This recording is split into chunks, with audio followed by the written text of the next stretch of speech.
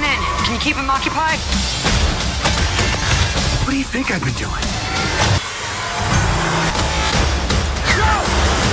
She's with us.